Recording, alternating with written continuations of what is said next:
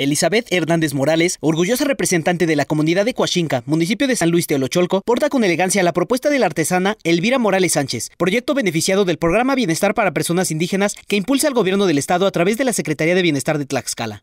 Claro que sí, nosotros estamos muy, muy realmente agradecidos con nuestra gobernadora porque ha impulsado este tipo de proyectos precisamente para las comunidades en el rescate de nuestra cultura indígena, nuestras raíces. Ahora porto orgullosamente una vestimenta hecho a mano, tejido a mano, costura a mano, eh, propia de la comunidad de manos artesanas de las mujeres de las comunidades indígenas.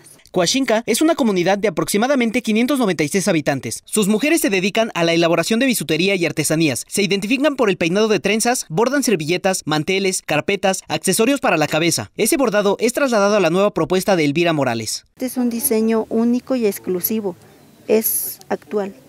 Anteriormente eh, se tejían otro tipo de camisas, pero tenemos que ir actualizando y tenemos que tener una identidad propia como comunidad.